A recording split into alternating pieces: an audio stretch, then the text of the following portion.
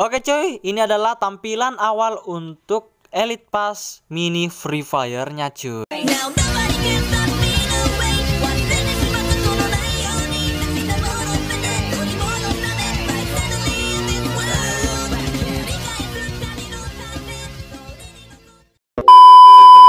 Halo Hello what's guys, welcome back to the Twin Channel. Oke oh guys, di konten kali ini kita akan membahas mengenai bocoran update mini elite pass terbaru di Free Fire Battleground guys. Oke guys, sebelum kalian menonton video ini alangkah baiknya guys kalian menekan tombol subscribe di bawah, like sama share ke teman-teman kalian juga guys Agar kalian mendapatkan info-info terbaru seputar tentang Free Fire Battlegrounds setiap harinya guys Dan kami tambah semangat untuk membuat video buat kalian semua guys Oke guys, tanpa banyak bacot lagi langsung aja kita membahas mengenai mini Elite Pass tersebut guys. Kuy dah. Oke cuy, ini adalah tampilan awal untuk Elite Pass mini Free Fire-nya cuy. Di sini untuk kita membeli Elite Pass mininya hanya kita membutuhkan 199 diamond cuy untuk yang Elite Pass mini versi biasanya cuy. Kalau untuk kita mau beli yang paket premiumnya cuy itu ya lebih mahal lagi ya cuy karena di situ harganya 699 diamond cuy. Karena kalau kalian membeli yang lebih mahal kalian juga bisa memperoleh bundle-bundle yang lebih keren daripada yang paket biasanya cuy. Karena kalau kalian lihat secara jelas lagi cuy, itu yang sebelah kiri dan sebelah kanan itu yang paket biasa dan paket premium itu untuk hadiahnya itu akan jauh lebih berbeda cuy. Kalau kalian membeli untuk yang paket premium cuy, itu adalah hadiahnya itu akan lebih bagus dan lebih keren untuk yang bagian premium daripada yang paket untuk biasanya cuy. Tetapi cuy untuk paket biasa dan juga paket premium tetap untuk hadiah utamanya tetap e, bundle yang cewek ini cuy yaitu bundle Eternal Soul-nya cuy. Ini cuy kita pernah e, dapat di server Indonesia dengan waktu spin-spin apa itu cuy ya? Spin event yang lalu cuy. Tetapi ini akan dikeluarin lagi untuk mini elite pass kali ini cuy. Ini mungkin cuy ya mini elite pass yang free fire yang ini adalah yang versi season pertama cuy. Kemungkinan akan muncul untuk season kedua atau season yang akan datangnya lagi cuy. Kalau kalian uh, tahu ya cuy ya untuk elite pass yang versi biasa cuy kalau kalian tahu itu semuanya pasti berakhir dengan 30 hari atau satu bulan aja cuy. Kalau untuk elite pass yang mini ini cuy karena namanya aja mini berarti ini cuman satu minggu doang atau tujuh hari doang cuy. Dan juga kita bisa mendapatkan hadiah-hadiahnya uh, secara bagus-bagus gitu cuy tapi kita nggak tahu pasti cuy apakah ini untuk dikerjakan misi atau apa cuy. Karena ini ada di server Brasil cuy. Ini kita sudah dapatkan infonya cuy. Tapi juga berkemungkinan sih kita lihat dari mini elite plusnya ini uh, spin kalau bukan misi gitu cuy. Oke cuy kita akan memperlihatkan hadiah-hadiah yang ada di Free Fire nya Elite Passnya cuy yang versi mini Oke cuy ini adalah bundle utamanya yaitu Eternal Soul yang versi ceweknya cuy. Tapi kita nggak tahu pasti cuy ya kalau akan dimunculin yang versi laki-lakinya di sini atau enggak karena di sini enggak diperlihatin bundle laki-lakinya cuy. Dan juga sini kita bisa mendapatkan hadiah-hadiah bundle seperti bundle uh, Alvaro dan juga beberapa bundle-bundle eksklusif yang lainnya cuy.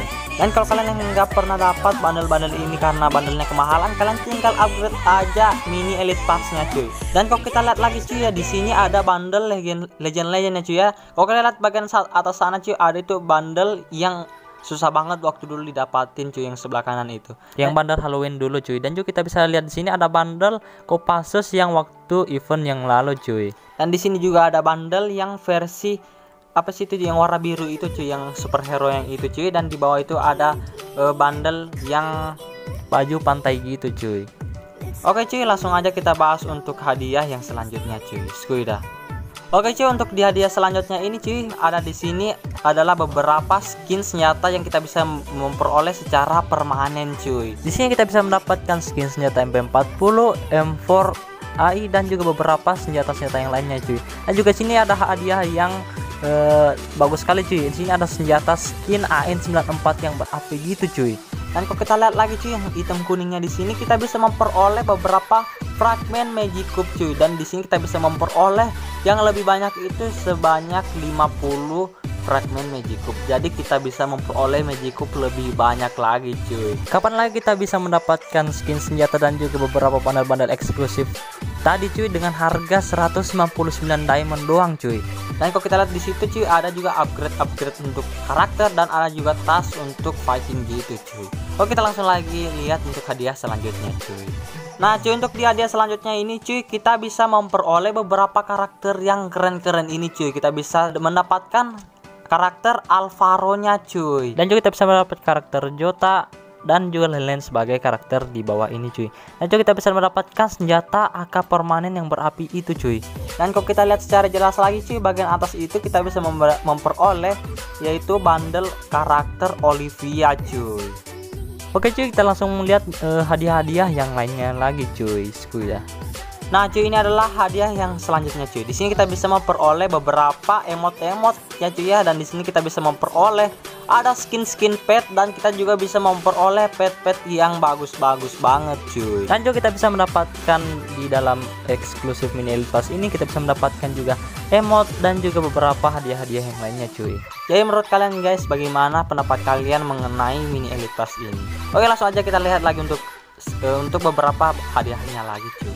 Oke cuy untuk di hadiah selanjutnya ini cuy kita bisa memperoleh tas-tas yang keren-keren banget ini cuy dan kita bisa mendapatkan dua tas Halloween yang paling keren di sana cuy yang bagian atas itu yang pernah kita memperoleh waktu dulu untuk misi top up cuy. Dan juga kita bisa mendapatkan support support yang waktu season lalunya juga cuy. Dan di sini juga ada beberapa parasut yang keren-keren banget ini dan ada juga di sini ada emot yang keren cuy. Dan juga si cuy di sini lagi kita bisa mendapatkan emot-emot pet dan juga kita bisa mendapatkan diamond voucher weapon voucher dan juga inkubator voucher cuy. Dan kita bisa memperoleh di bawah itu cuy. Ada skin crate-nya yang banyak banget itu cuy untuk skin shotgun dan lain-lain lagi cuy Nah cuy di sini cuy kita bisa memperoleh juga skin-skin eh, senjata lagi cuy dan juga kita bisa memperoleh crate-crate yang keren-keren ini cuy. Dan juga kita bisa mendapatkan badges-badges untuk elite pass yang satu bulan itu cuy. Dan kalau kita lihat secara jelas lagi cuy di situ kita bisa mendapatkan crate untuk baju yang di untuk di server luar cuy. Itu yang kita bisa memperoleh cuy. Gimana cuy pendapat kalian mengenai Free Fire Mini Elite Pass ini cuy? Komen di bawah mengenai eh, Elite Pass mininya ini cuy. Tapi kita nggak tahu pasti mengenai hadiah-hadiahnya ini yang begitu banyak cuy. Berkemungkinan besar sih kita menjalankan misi kita memilih satu dari beberapa hadiah-hadiah tersebut cuy. Tetapi kita bisa mendapatkan hadiah eksklusif yang bundle kuning tadi cuy. Tapi kalau kalian memper- eh, untuk membeli yang premium kalian bisa memperoleh semuanya kemung- untuk bundle-bundle dan itu semuanya cuy. Itu berkemungkinan lebih cuy. Tapi kita nggak tahu pasti cuy apa kalian untuk membeli yang premium atau yang biasa cuy. Kemungkinan kalau yang biasa itu cuy untuk hadiahnya mungkin lebih sedikit daripada yang premium cuy Oke cuy, sudah dulu untuk episode kali ini. Jangan lupa untuk menekan tombol subscribe, like, dan share ke teman-teman kalian. Agar kalian mendapatkan info-info terbaru seputar tentang Free Fire Battle Cross guys. Oke guys, ya.